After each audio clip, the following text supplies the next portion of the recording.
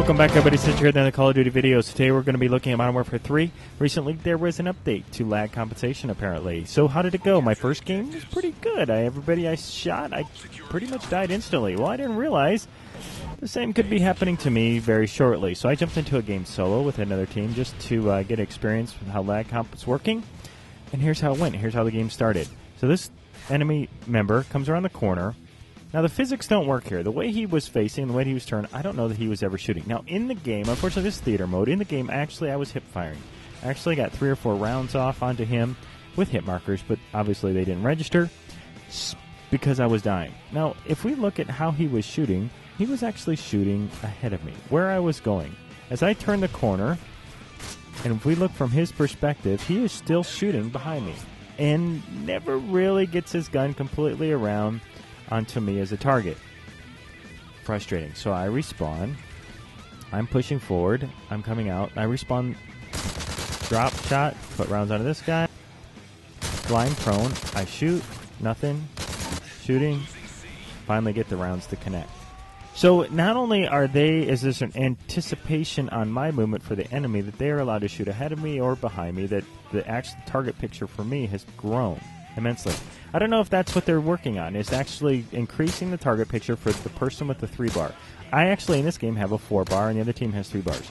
So was their lag compensation increasing my target picture? Is the target allowance for hitting me much greater now than for my enemies? Is mine trunk? Is that how they're compensating? Maybe. I can only assume. Now, is there a complex mechanic for how you anticipate movement? Maybe. And maybe by doing that, maybe they just simplified it and make it a big target picture and smaller target picture. I can't say. So I come up here, no damage, come around, one shot dead. I, I, I it was a shot. The whole game was pretty much like that. Fortunately, this team was more worried about killing because they got so excited they were killing everything that they looked at. They're killing our team. They're just mowing through us. I mean, there was just no equality at all. So he comes around with a fad, typically known for low damage, high fire rate. So his first round actually went into the wall, and then suddenly the gun fires two rounds at once, and I'm dead instantly. Don't know why, don't know how. Uh, maybe was a headshot. I don't know. But let's look here now. I turn the corner, insta dead. Okay, so I don't know if my target picture. Let's look. As I shoot here, he kills me instantly. Barely even get a look at him.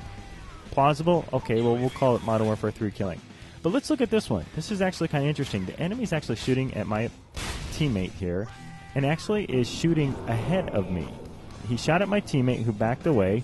He fires around through the wall in front of me to where I'm going. Okay? As I'm approaching the wall, coming around the corner, now this is happening at a much higher rate. You have to recognize this is actually as slow as 0.1 the normal speed. So this is as slow as I can. So the first round that perhaps connects is actually into my shoulder. Now, do I show any indication of being hit? No. Does that matter? No. I'm going to call that a hit. But now let's look at how big my target picture becomes suddenly. What is the killing shot for me? How big is my target that the enemy can hit for me to die? Let's look at the where this round goes. Bang. Those rounds are behind me. They hit the wall behind me. And for whatever reason, now you see where my weapon is that's where my target picture. That's how wide my target picture has become. So it's not only. So let's look at it. So he, this enemy comes around the corner, and here, let's look at it right here. Let's look at it very carefully. So he's coming around the corner from one of those HESCOs. He's moving into loading docks. Now this is my teammate. Sees him. He shoots behind him and is dead. Okay, first round into his leg. Maybe. Okay, so this is how they were mowing through. This is actually why they lost, I think, because they were just killing everything. Now, is this a new lag comp? Is this great lag comp? Look, he's shooting behind, shooting behind, shooting behind, shooting behind, dead. How big is that target picture 90%? So he kills my teammate. I'm coming out. I just respawned from being killed, one shot killed, of course. This enemy of mine, this opponent, comes around. He's killing everything. Final example, let's look at. I'm throwing a C4 onto a flag to protect it.